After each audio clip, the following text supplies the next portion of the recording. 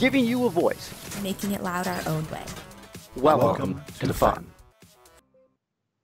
In third place, you've got Team 983 again, um, consisting of members Tom, Andrew, Ben, Ethan, and Will from FTC Team 5040 Nuts and Bolts, and they were the third place winning team for the Containment Design Challenge. Now, really, right off the bat, this robot shocked us all with its unique and innovative design. And this robot features a mecanum wheel drive train with uh, raised rhino wheels uh, that allow it to get over the uh, valley without beaching on the actual valley uh, game element. Now, this robot features a wall, a literal wall of flex wheels, really expensive, but who doesn't care in a CADathon, in order to intake both toxins and catalysts into the robot. And it even features a pair of linear servos to intake the uh, the entire mechanism beyond the 18 inch restriction. And we don't really see linear servos being used in uh, any FTC game, even in real life or in a CADathon. So this team using such a mechanism like that really set us apart for both the Innovator Award and in the overall rankings. Uh, we really love the team's vertical four bar, being able to collect and deposit catalysts and lids all in one simple mechanism. And again, something that really set this robot apart from other robots were the use of multiple kinds of sensors to enhance the robot's performance on the game field. And just a listing off a few, they've got a MA3 absolute encoder to track the rotation of the vertical four bar, a rev through bore encoder to track the location of the top of the box lift, as well as something we're seeing a lot more of in actual in real life FTC, a T265 camera uh, in place of odometry wheels to identify and track toxins on the field during the autonomous period. As you can see on the screen, the team's robot profile was also very, very professionally made. One of probably my favorite, if not my favorite, uh, one of my favorites of the entire robot profile. And it really just highlighted all the unique mechanisms that made the robot stand out amongst the crowd.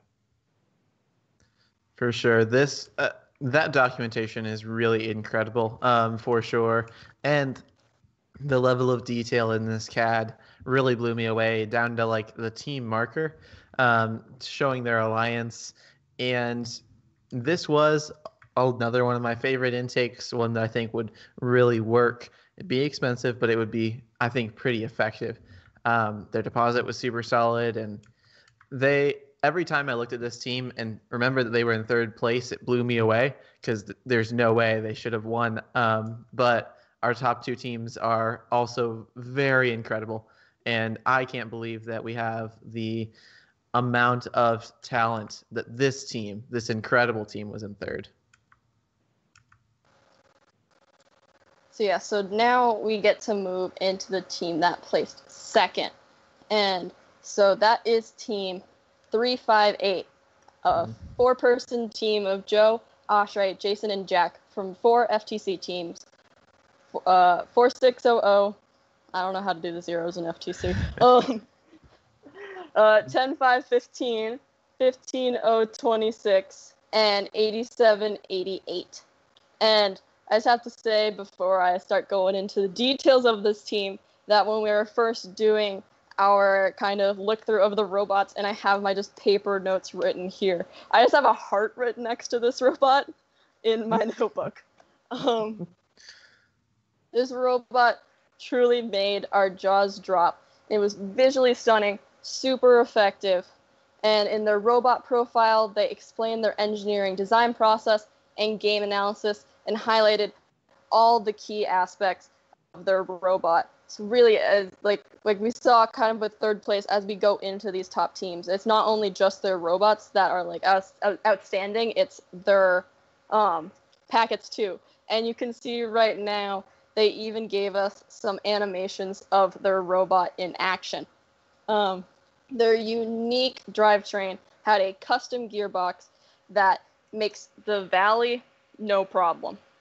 Uh, their intake is super innovative they used a belted intake to transfer the toxins and catalysts from the field to inside the robot. They have a gravity assisted sorting mechanism that I was a huge fan of that separated the toxins and catalysts from scoring. So there's no worry of like when you're intaking both toxins and catalysts ending up accidentally putting a toxin in your catalyst container and then it's all a mess.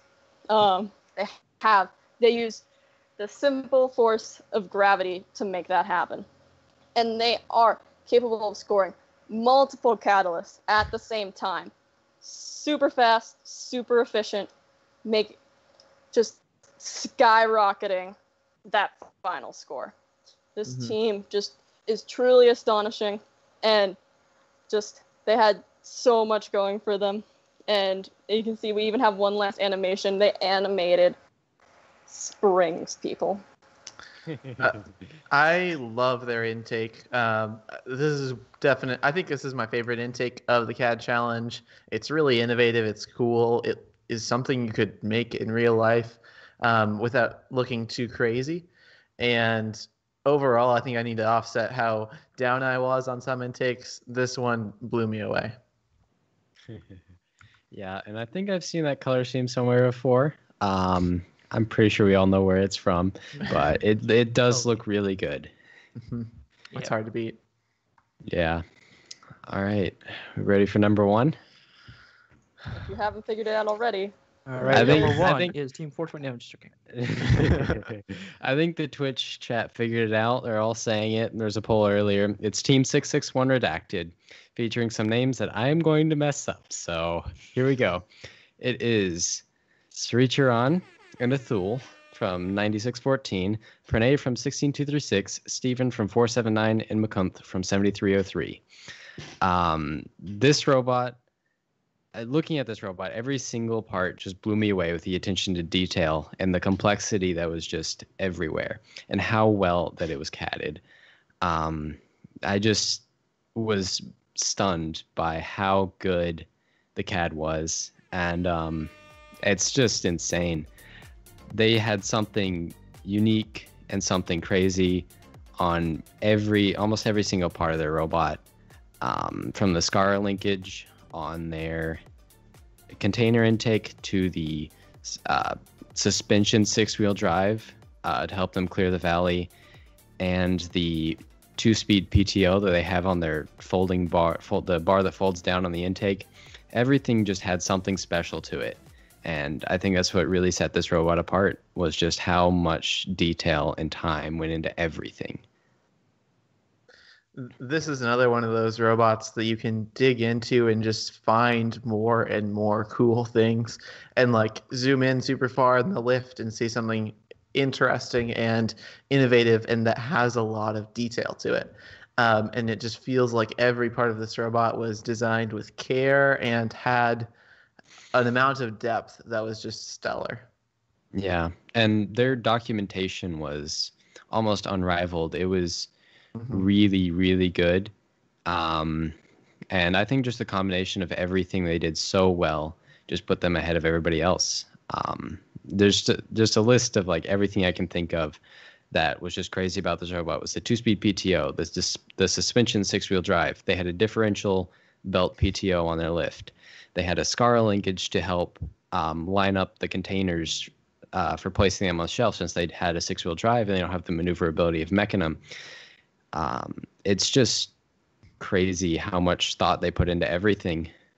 hmm And not only was the robot amazing, the documentation was also very great. The renders showed off the robot and it showed how the robot was designed and just told us so much more than we would have known just from the CAD.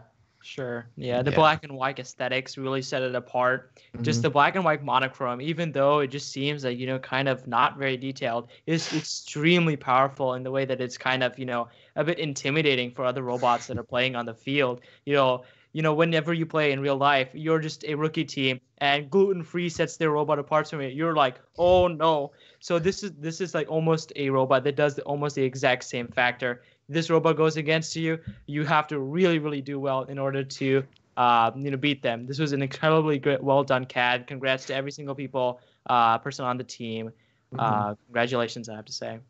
Mhm. and they called their catalyst mechanism the catalyst yeeter. So how could we Yeah. not give them first? There you go. And, and honestly, congratulations to all of the teams we judged. Um, everybody did a great job. And I think everyone probably walked out of this with more CAD knowledge and just overall being more comfortable and ready and prepared for the next season. Uh, it was a pleasure to be able to judge all of your robots. Yep, I just want to give a quick shout out to uh, Fun FTC and Tyler. Thank you uh, for you know helping us in such uh, short notice. Very great. Uh, we really love being on the uh, Fun FTC network, and we hope we'll be back later. Uh, also, I do see that we have to do a shout out. Um, I have to plug it. I know he's my friend. I got to. Uh, just uh, you've got Jose, Brian, and Wes. They're hosting another CAD challenge that's going to be starting in the next few days. The Caravan CAD Challenge or CCC uh, will be starting in the next few days. So make sure you guys join that CADathon as well. Hopefully they'll be able to finish judging way faster than we can. Um, and really, it's amazing what I've seen throughout these past few um, months. Uh, but it's really, really good. I've seen uh, these robots really blew me away from you know 26 to first. Amazing robots. Everybody has done such hard work and done really, really uh, good, and I'm very proud of everyone. Thank you yep. to everybody, all of my wonderful judges, and Nate for organizing the challenge. I uh, couldn't have done it yes. without you guys. Yep. It was um, one more the thing. catalyst for this challenge. Ooh, good one. yeah, one more thing. I noticed Tyler put this in the Twitch chat, but I just want to say it again. There's ta- there's a lot of CAD challenges going on. Um, Deeds mentioned the Caravan CAD challenge, and also F4 is going on. Um, so be sure to check all the CAD challenges out if you want to see more of this. Um, that's what I got. yeah, make sure to tune in. Um, to all of the shows on First Updates Now. You can see them over at twitch.tv slash First Updates Now. You can follow them over on their social media at FunFTC. And th- thank you guys for having me. It was a pleasure to be here. Bye, everyone. All right. Thank you.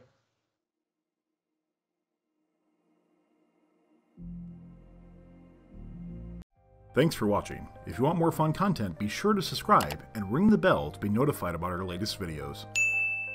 Thanks to all of our co-executive producers on Patreon and Tier 2 Plus subscribers on Twitch, keeping fun loud, live, and independent.